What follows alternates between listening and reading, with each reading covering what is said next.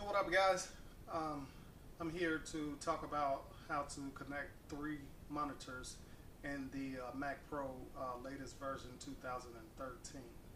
Um, I've looked all over the internet uh, to try to solve this problem, even contacted uh, Apple support, and no one seems to be able to help me solve that problem. So I think I found the problem. Matter of fact, I found the problem.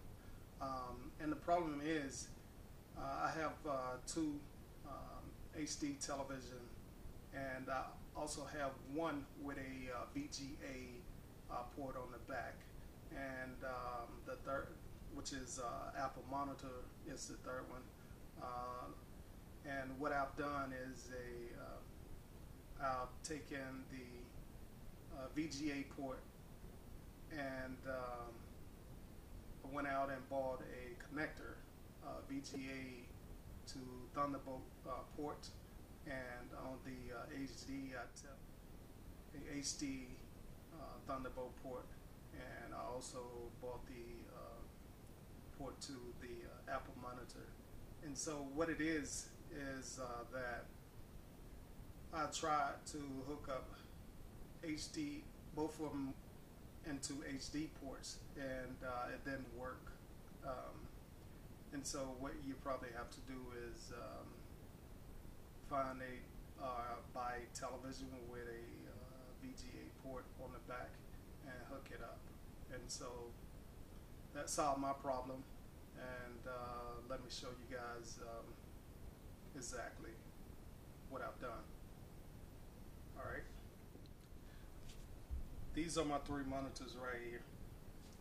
And what I'm gonna do is um, show you proof is just take this all the way across to each and show you. All right, let's get to it.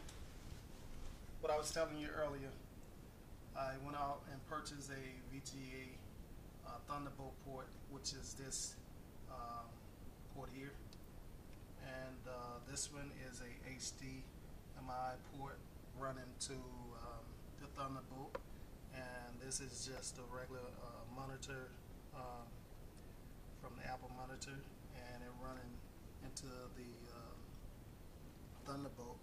And I actually have uh, all three um, in here and I just plugged them in. And it worked in any of them uh, once I've done it.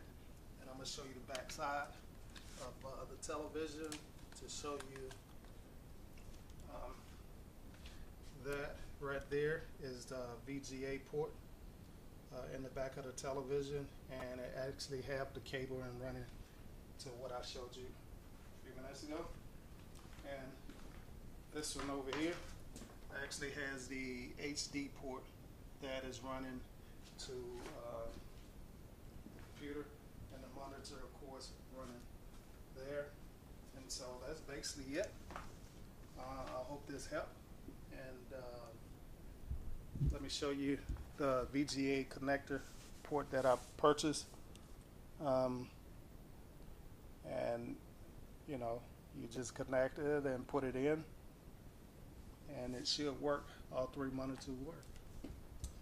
All right, thanks. If you like, uh, subscribe or either give me a thumbs up. And I hope that helped you. Peace out.